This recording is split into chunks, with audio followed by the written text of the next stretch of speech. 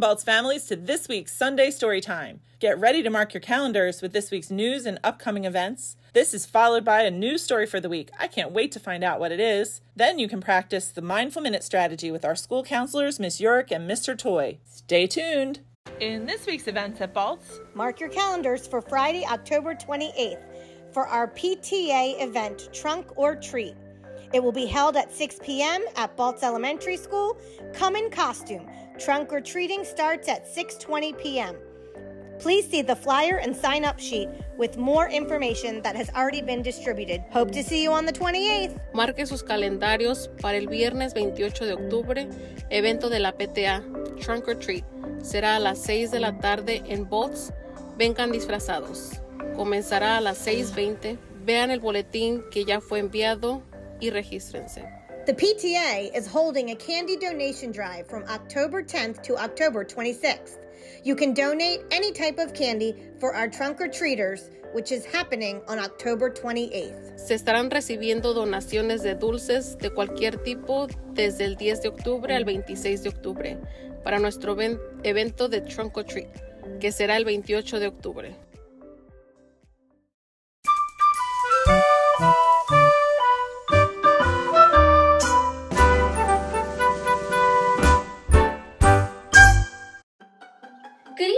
Families, and welcome to another episode of Sunday Storytime. My name is Mrs. Coster, and I teach reading at Baltz. Tonight, I will be reading Zombies Don't Eat Veggies.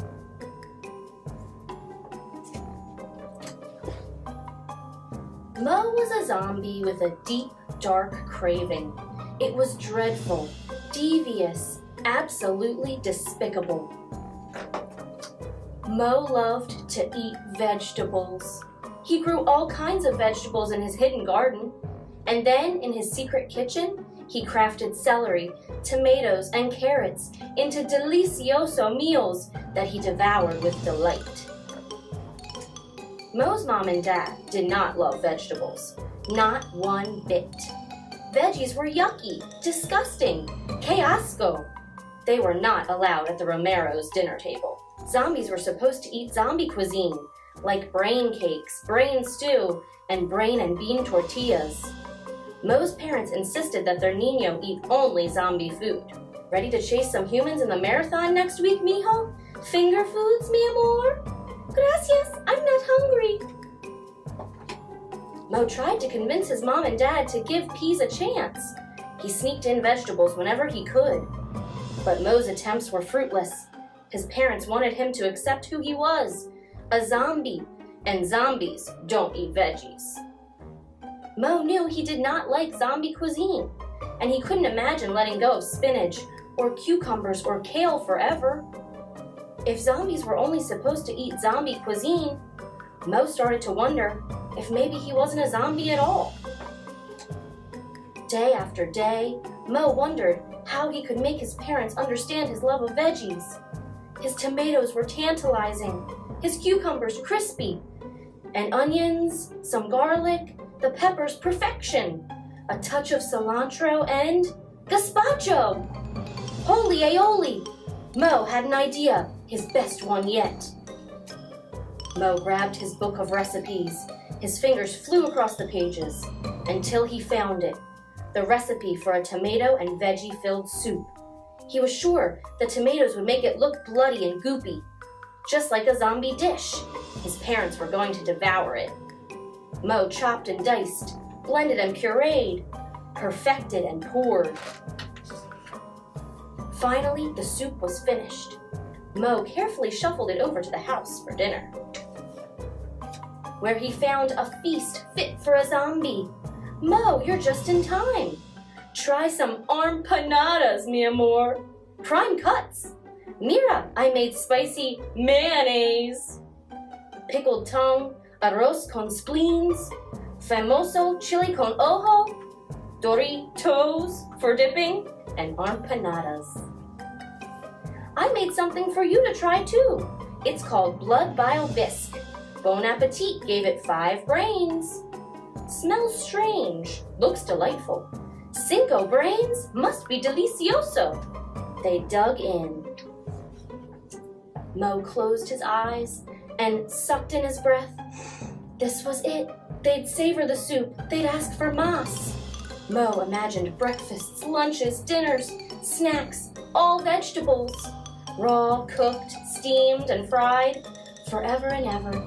He saw all his dreams coming true until. Mo's parents did not like the soup, not one bit. Dios mío! This soup tastes like. like vegetables! Yuck! Mo's heart sank into his toes.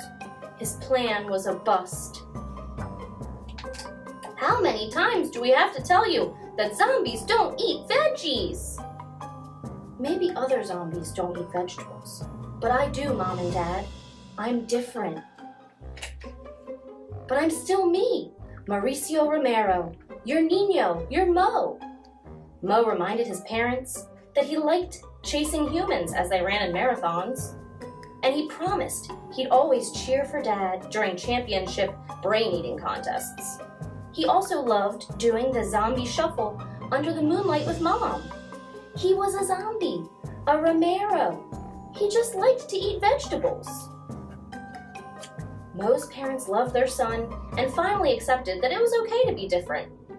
They even promised Mo they would eat some veggies for him, but only a teeny tiny bit. The Romeros knew that most zombies don't eat veggies, but they were more than zombies. They were a family. Thanks for watching! And don't forget to tune in next week for another episode of Sunday Story Time. And don't forget to eat your veggies. Good night!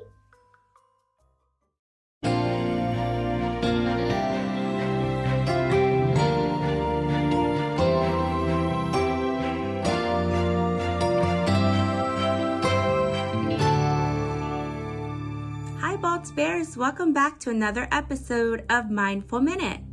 Today, we're going to talk about diversity. Here, I have two jars. The lights inside these jars represent who we are. It would be great if we could see the lights inside all of us, but sometimes we focus on what's on the outside. Like some of us are taller and some of us are shorter. Some of us have straight hair, and some of us have curly hair.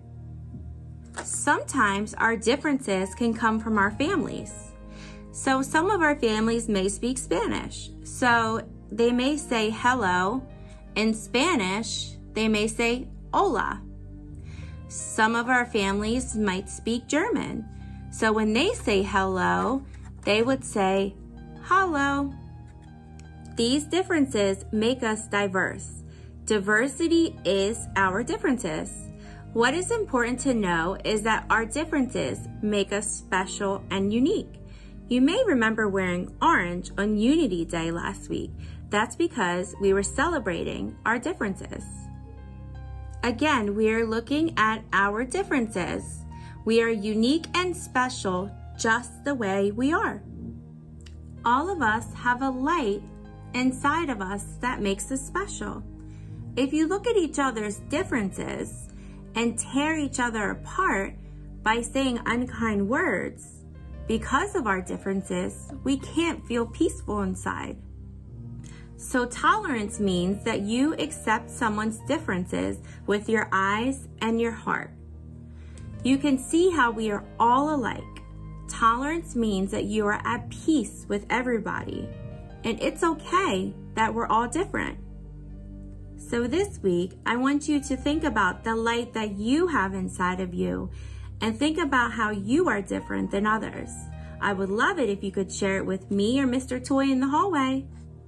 Thanks for watching another episode of Mindful Minute. We will see you next week.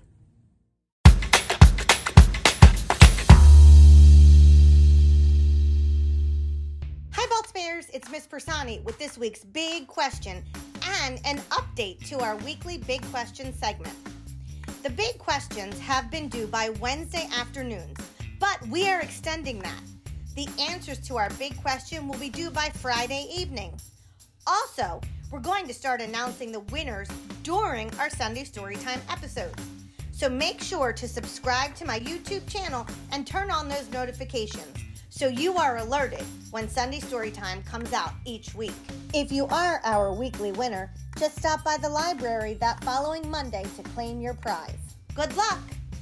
Here's this week's big question. The book Zombies Don't Eat Veggies was filled with so many amazing adjectives.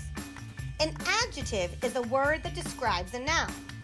A noun is a person, place, or thing. Some examples of adjectives could be the happy dog. Happy is describing the dog. The tired boy. What is describing the boy? He is tired. And there are seven girls. How many girls are there? Seven. Now that you have an understanding of what an adjective is, here is this week's big question. What is an adjective that is used in the book? And make sure to include the noun that it is describing. Here is an example from the story. Mo described his tomatoes as tantalizing. The noun is tomato, and the adjective describing the tomatoes is tantalizing. Good luck, and don't forget to tune in next week to find out if you are this week's winner. Congratulations to the following winners from last week's big question. The question was From the story, How to Catch a Witch, the children tried to catch the witch four different times. What was one of the ways they tried? The first way was free broom rebristling. The second thing they tried was to lure her to the dance floor and have the spiders use their webs to trap her. Congratulations to Caleb F. in room 209. The third thing they tried was to trap her by dropping a box from above her head. And finally, congratulations to Siani H. in room 205. The last way they tried was the tunnel of tricks. Great answers. Have a great week.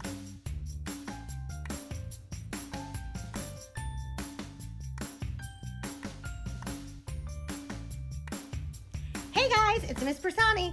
Don't forget to like and share this video. And also, make sure you subscribe to my channel so you don't miss another episode. Thanks for watching, and don't forget, you rock.